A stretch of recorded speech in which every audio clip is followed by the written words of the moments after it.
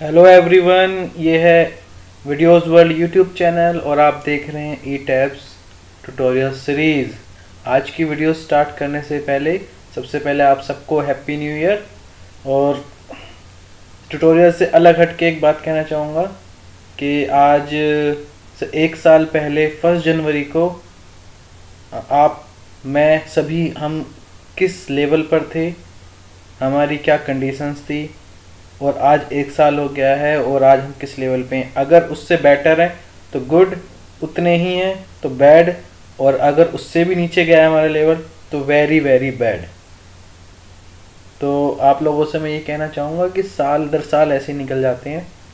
तो क्यों ना आज फ़र्स्ट जनवरी है, कुछ डिसाइड कीजिए, कुछ भी गोल लीजिए कि मेरे को ये करना है लाइक फिटनेस हेल्थ को लेके करना है, या किसी भी चीज़ को लेके करना है इस साल मुझे अपनी इस चीज़ ये आदत हैबिट बनानी है और इस चीज़ में मेरे को मतलब इस चीज़ को पाना है, इस चीज़ मास्टरी करनी है। जैसे कि मैंने सोचा है इस इस साल मैं अपनी हेल्थ और फिटनेस पे ध्यान ज़्यादा रखूँगा, क्योंकि दो दिन से मेरी हेल्थ ठीक नहीं थी, इसकी वजह से मैं वीडियो भी नहीं बना पाया। तो एक और सजेशन मैं आपको देना चाहूँगा कि दस चीज़ें ना लेके चलें अपनी हेल्थ फिटनेस में जिम भी जाऊँगा, मैं एग्ज़ाम भी क्रैक करूँगा, अपनी लैंग्वेज भी ठीक करूँगा, मैं ये भी करूँगा, मैं वो भी करूँगा और कुछ नहीं हो पाता है। कोई एक चीज़, छोटी सी चीज़ और छोटे छोटे स्टेप्स में स्टार्ट कीजिए। सही कह रहा हूँ, आपकी एक साल का पता भी नहीं चलता कब आता है और आपकी लाइफ चेंज हो जाएगी। सोचिए, एक साल पहले अगर आपने जिम जाना स्टार्ट करा था तो आज क्या होता? एक साल पहले आपने कुछ भी सीखना स्टार्ट किया था तो आज क्या होता? है ना? तो ये मेरी एक एडवाइस थी कि जो भी है आज से स्टार्ट कीजिए, कोई एक गोल लीजिए, बस एक गोल ज़्यादा गोल नहीं, और स्टार्ट कर दीजिए आज से।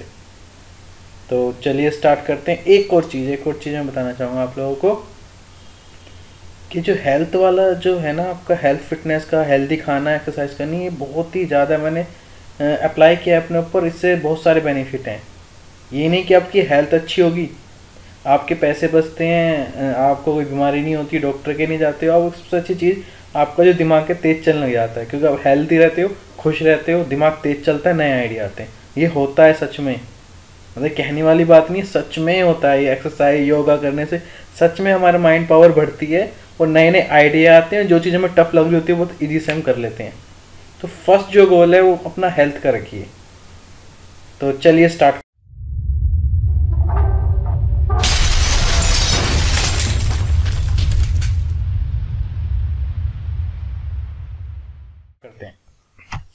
आज का टॉपिक है टाइम हिस्ट्री एनालिसिस तो टाइम हिस्ट्री एनालिसिस सबसे पहले होता क्या है? टाइम हिस्ट्री एनालिसिस तो मैं आपको बता दूँ, जैसे कि नाम से ही पता चल रहा है टाइम हिस्ट्री एनालिसिस यानी जो हिस्ट्री का डाटा है, वो हमें अपनी बिल्डिंग पे अप्लाई करना है. यानी कि जो हमारा जो बिल्डिंग है मॉडल है, उसके जो बेस है, उस पर हमें वो जो ग्राउंड जो हिस्ट्री में ग्राउंड मोशन यानी कि अर्थक्वेक जो आ चुके हैं, उनका डाटा बिल्डिंग के बेस पे लगाना है, फिर बिल्डिंग का मैक्सिमम रिस्पॉन्स देखना है। ठीक है?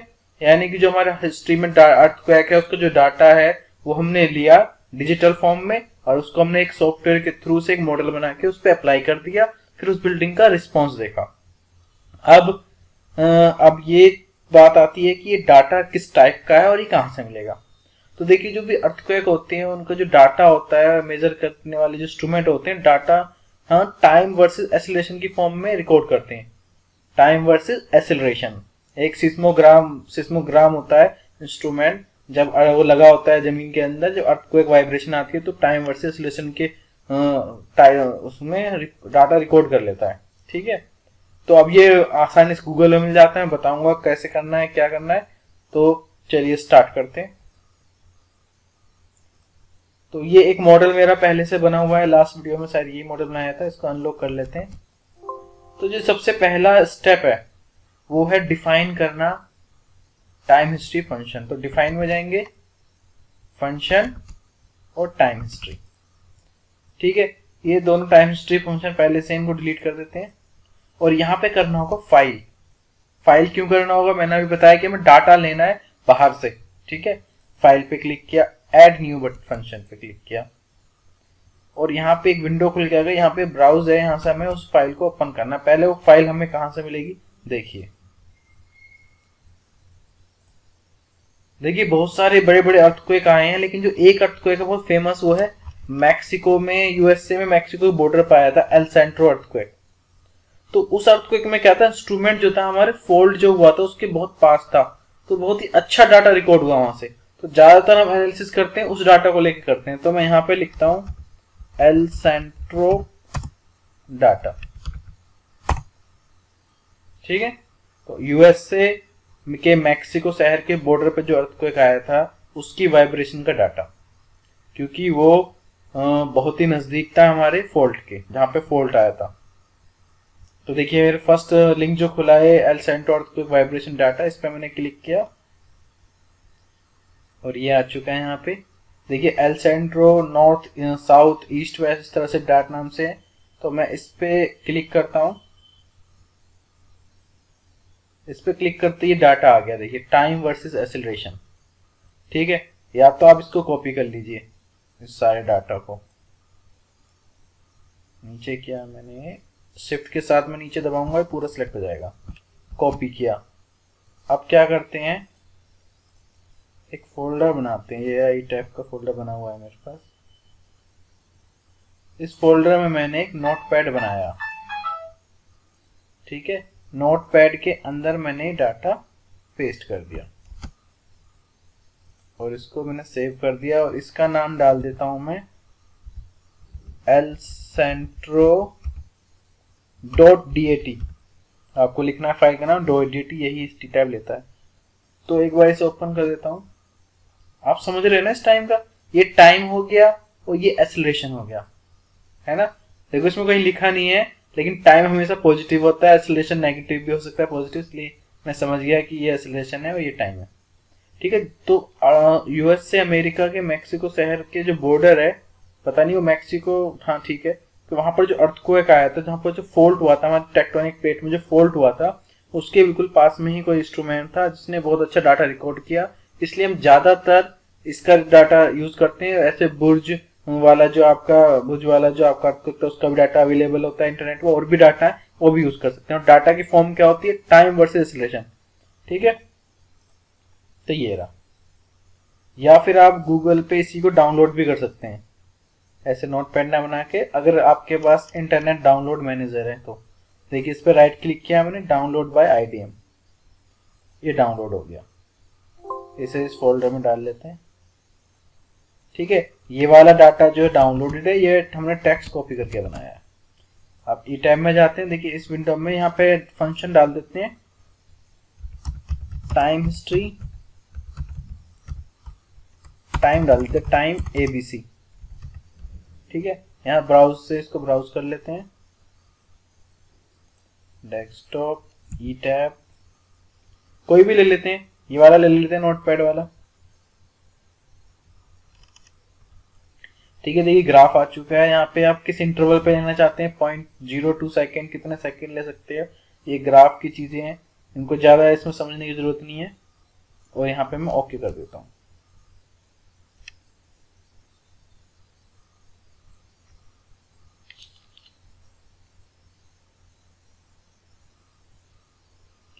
थोड़ा सा स्लो प्रोसेसिंग में आती है जब हम टाइम हिस्ट्री एनालिसिस करते हैं।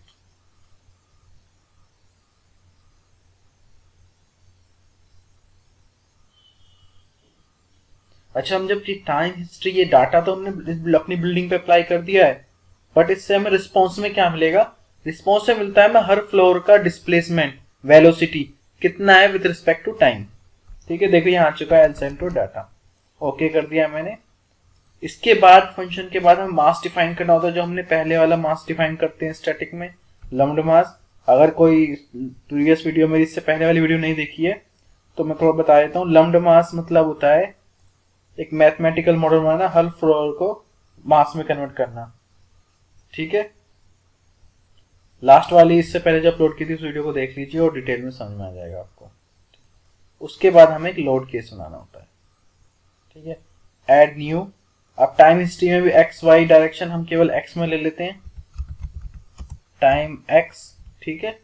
क्योंकि बिल्डिंग से मैटिंग सेम रिज़ल्ट आएँगे और यहाँ पे टाइम हिस्ट्री ठीक है? लीनियर मॉडल ले लेते हैं। ठीक है? टाइम हिस्ट्री में आप लीनियर नॉन लीनियर दोनों एनालिसिस कर सकते हो। और यहाँ पे आपको ऐड करना है। तो लोड पैटर्न क्या एक्सेलरेशन अप्लाई कर रहे हैं। एक्स डायरेक्शन में और कौन सा फ़ंक्शन लेके? एल सेंट्रो का डाटा लेके स्केल वन ठीक है? ये स्केल फैक्टर का एक फॉर्मूला भी होता है आपके पास। क्या होता है वो? आई जी बाय आर आई होता है इम्पोर्टेंस फैक्टर मान लीजिए इम्पोर्टेंस फैक्टर वन है, और जी मान लीजिए around experiment nine point eight को टेन मान लीजिए, और आर आपका फाइव है। है ना? तो इससे आपका स्केल निकल जाएगा। ओके कर देते हैं। ये ओके बस अब आपको एनालिसिस कर देना है। मे भी हो सकता है कुछ एरर आ जाए, क्योंकि इसमें बहुत सारे, इसी मॉडल पे बहुत सारी चीज़ ट्राई कर चुका हूँ। अब मे भी नहीं आए।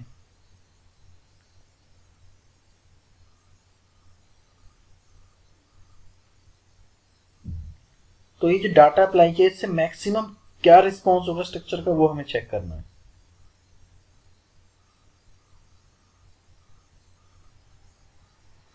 एनालिसिस हो चुका है। चलिए जाते हैं डिस्प्ले डिस्प्ले में सबसे पहले हम जाते हैं स्टोरेज रिस्पॉन्स प्लॉट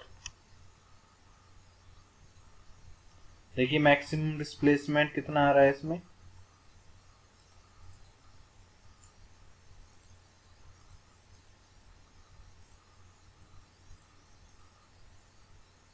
और लेटरल फोर्स जो पहले वाला था क्यू एक्स तो यहाँ पे तो ये डाटा आप स्टैटिक और डायनामिक का डाटा देख सकते हैं। अब टाइम हिस्ट्री का हम यहाँ से देखते हैं। रिस्पॉन्स स्पेक्ट्रम कर्व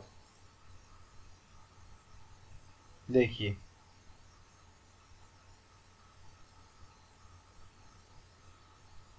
ये आपका है टाइम पीरियड और ये आपका है एसिलरेशन देख सकते हैं एक्सलेशन की यूनिट होती है एम एम पर सेकेंड स्क्वायर और किस डायरेक्शन में एक्स डायरेक्शन में। और कौन सा स्टोरेज का दिखा रहा है रिस्पॉन्स थर्ड स्टोरेज का। स्टोरेज चेंज करते हैं। तो ये रिस्पॉन्स है। स्टोरेज वन पे ये रिस्पॉन्स और बेस पे ये रिस्पॉन्स है। फॉर्मेट में ले लेते हैं। देखिए, इस टाइम पीरियड पर जब डैम्पिंग ज़ीरो होगी तो एसिलेशन इतना। डैम्पिंग के साथ साथ आपको बता रहे डैम्पिंग बढ़ती जाएगी और उसका रिस्पॉन्स आपको बताता जाएगा। डैम्पिंग आपको पता है ना डैम्पिंग रेशियो क्या होता है? डैम्पिंग मटेरियल की वो प्रॉपर्टी होती है जो ऑक्सीलेट होने से रोकती है। ठीक है?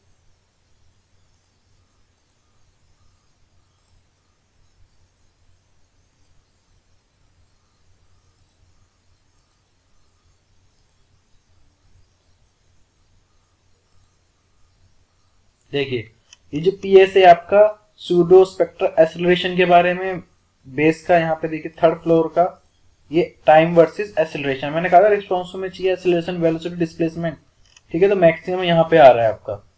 अब देखिए मैं पी एस ए की जगह चेंज करता हूँ पी एस वी ये क्या आपका? सूडो स्पेक्ट्रल वेलोसिटी ठीक है थर्ड स्टोरी का। और अब मैं चेक करता हूँ एस डी स्पेक्ट्रल डिस्प्लेसमेंट ठीक है? तो मैक्सिमम देख लेते हैं कितना आ रहा है यहाँ से।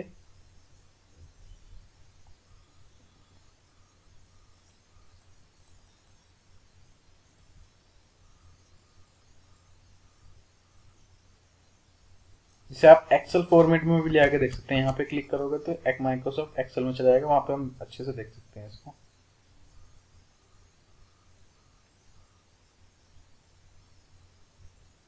देखिए, ये खुल गया। ठीक है माइक्रोसॉफ्ट एक्सेल इसमें डाटा आ चुका है, यहाँ पे देख सकते हैं मैक्सिमम एसोलेशन मैक्सिमम डिस्प्लेसमेंट तो मैक्सिमम डिस्प्लेसमेंट है आपका, ये टाइम पीरियड है, ये फाइव सेकेंड में मैक्सिमम डिस्प्लेसमेंट आ रहा है डैम्पिंग किस पे? Zero point zero seven damping पे। ये मैक्सिमम है यहाँ पे। सॉरी सॉरी सॉरी सॉरी ये मैक्सिमम नहीं है। मैक्सिमम ये है। ठीक है? ज़ीरो डैम्पिंग पे समझ रहे डैम्पिंग ज़ीरो का मतलब ऑक्सीलेट होने से कुछ भी रोक नहीं रहा है। उससे तो डिस्प्लेसमेंट ज़्यादा होगा। है ना? तो जैसे जैसे डैम्पिंग बढ़ रही है डिस्प्लेसमेंट कम होता जा रहा है। ठीक है? और रिज़ल्ट देखते हैं इसके हम।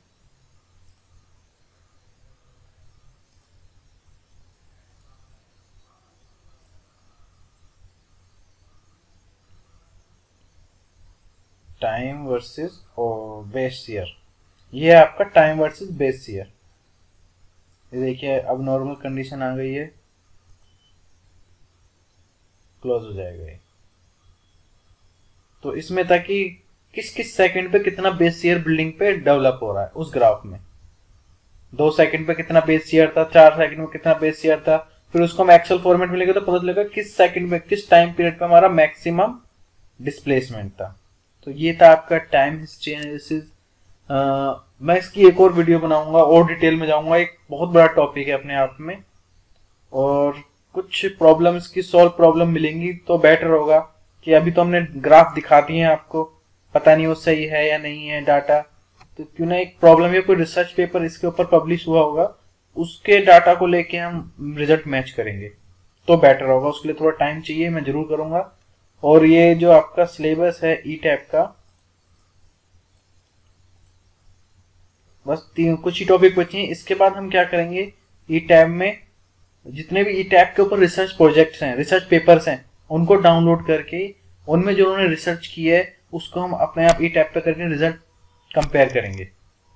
ठीक है? उससे हमें ज़्यादा समझ में आएगा। मेरा पहला ही मान, मानना यह है कि अगर हम सॉल्व प्रॉब्लम को ई टैप से करेंगे रिज़ल्ट मैच कराएँगे, तभी हमें पता चलेगा कि हमारा सॉफ्टवेयर पर हम सही काम कर रहे हैं। वरना सॉफ्टवेयर में तो कुछ भी डाल दो रिज़ल्ट दे ही देगा वो। और वो सही है या नहीं है वो तभी पता चलेगा। तो कुछ टॉपिक बचे हैं, खत्म होने के बाद हम सीधा रिसर्च पेपर जो है, उनको यूज़ करके स्टार्ट करेंगे।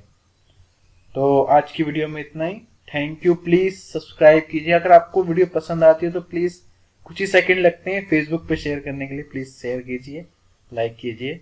Thank you